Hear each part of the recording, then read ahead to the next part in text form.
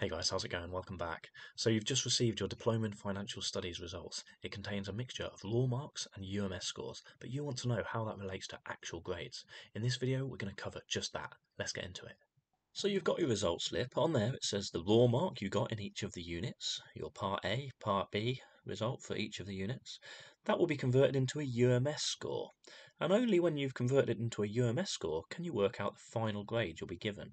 Let's check out those three steps in a bit more detail. Now, on your screen, you can see the grade boundaries for the raw marks out of 35 for Part A in the June 2022 session. So the June 2022 session, you needed 32 marks for an A star, 28 for an A, B, 25 marks out of 35, etc. If you want to know it in percentage terms, 91, 80, 71 for B, etc. That's for Part A, which is the multiple choice out of 35. The second part, Part B, is of course a written paper out of 65, and in June 2022, the sitting for Unit 2, you needed 38 marks. 38 marks out of 65 for an A star, equivalent to 58%.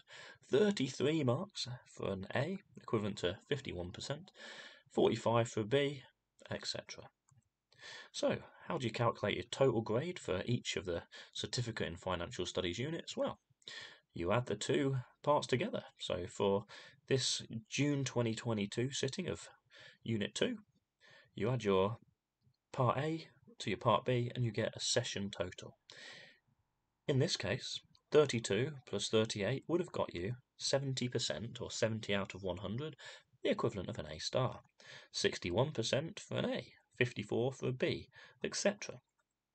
However, grade boundaries change each session. It's important to note that these on the screen are the grade boundaries for June 2022. Of course, that was a sitting of Unit 2. We can see how much the grade boundaries change by looking on the screen. So these are the grade boundaries for Unit 1, sittings all the way back to March 2018. We can see for an A star, back in 2018, you needed 73 out of 100 total marks. By March 2022, it had gone down to 72, and that is uh, reflected in A, B, C, and D grades as well. They've all gone down one or two marks. E, however, on the flip side, has remained constant at 33 out of 100. For the Unit 2 exam you took in Year 12 or whenever you did the Certificate in Financial Studies, likewise, similar trends. Back in 2018, for the Unit 2 exam, you needed 73 out of 100 to get an A star, 64 for an A, etc. By the time 2022 came about, you only needed 70, or 61 in the case of an A. The reason you might be thinking, why do the raw mark grade boundaries change? Well, it's because each session you might have relatively easier or more difficult questions. So the reason why the raw mark grade boundaries change each session is to reflect the relative difficulty of the questions within that paper compared to other exam sessions. So you've got your raw marks and you've worked out the UMS for your certificate in financial studies. What about the diploma in financial studies, the second year of this qualification?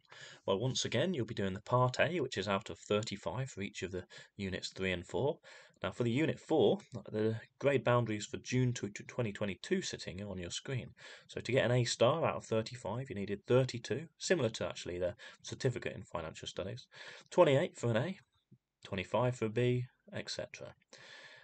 Slightly different when it comes to Part B, actually slightly higher than the Certificate in Financial Studies. So for the second year, June 2022 sitting. Of Unit 4, you needed 40 out of 65 for the A star boundary, 36, 55% for an A, 31 or 48% for B, etc. And of course, to work out the total grade you got in each of the units, it'll be out of 100, and in June 2022 at least, this was the grade boundaries, the raw mark grade boundaries for each grade. So to get an A star, you needed 72 out of 100, 64 for an A, 56 for B, 48 for C, etc. But once again, as we know, the grade boundaries will change each session, and you can see evidence of that on your screen right now. These are the Unit 3 sittings. Now, that goes all the way back to March 2018.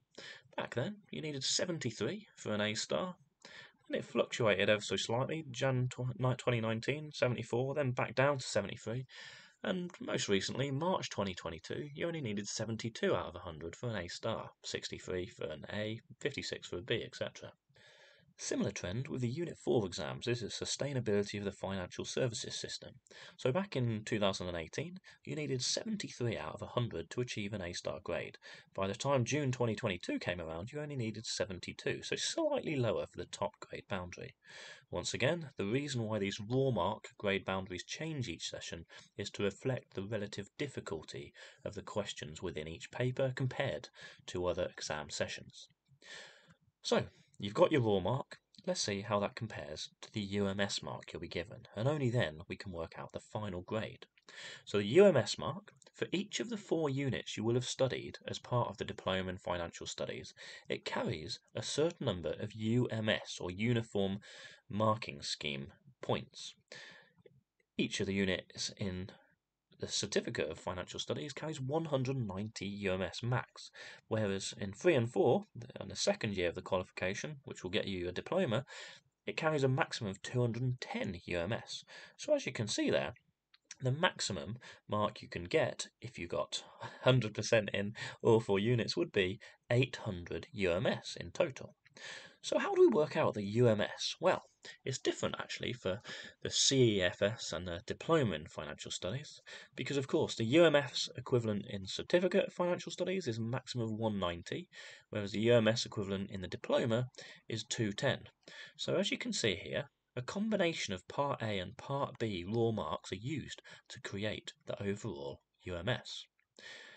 What happens if you do resets? Well, the good news is, for the final unit grade, the best combination of Part A and Part B are applied. When calculating UMS, the exam boards see how far into the UMS boundary a raw mark is. So, for example, if we look at a Diploma in Financial Studies, for an E, it is between 84 UMS and 105 UMS, or 34 and 42 raw marks. So, of course, if we got 41 raw marks towards the top of the raw mark band, it's going to have a UMS mark towards the top of that grade band. So 41 raw marks would equate somewhere between 103 and 104 UMS equivalent, the top UMS grade for E. Now, you've calculated how many raw marks you got in total, and you want to know exactly how many UMS you've got for each of the units. Well, as I said earlier, the raw mark grade boundaries can change because each year different types of questions will be asked. And if there's more difficult questions asked in a particular session, then the grade boundaries tend to be slightly more lenient, shall we say. Teachers and exams officers have access to something called the Grade Boundary Report, which gives the exact grade boundaries for each sitting. That's where I got the information shown earlier. So you want to ask your teacher or exams officer what are the specific raw mark grade boundaries for the session that you have just sit. The UMS grade boundaries, on the other hand, do not change for each exam session. So whereas the raw mark boundary may change, it might go up and down ever so slightly, the UMS equivalent will remain the same every single session that is sat. So always, for a diploma in financial studies, for example, 189 to 210 will always be an A star equivalent. So, how do you calculate the overall grade for your diploma in financial studies? First of all, you take your two grades, your two UMS marks from Unit 1 and Unit 2 in the Certificate of Financial Studies, and you add them to the two UMS marks for your Units 3 and 4, your Diploma in Financial Studies, the second year of the qualification. Once you total your maximum, which of course is out of a maximum of 800, you compare it to what is in the grid on your screen. So, You've added them all up, and if you've got a grade over 720 UMS, congratulations, you have been awarded an A star overall. 640 would equate to an A overall, 560 a B, and so on.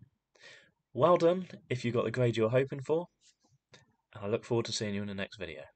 LIBF are shortly going to be releasing the case study. I'm going to be filming full evaluations of each case study as well as model answers. Make sure you hit that subscribe button and turn on the bell to be notified of these future videos.